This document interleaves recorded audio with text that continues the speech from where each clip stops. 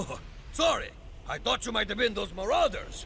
Can't be too careful. After all, we would not want to lose Pronto, would we? Now we just gotta find Eli. Hey, look! There he is!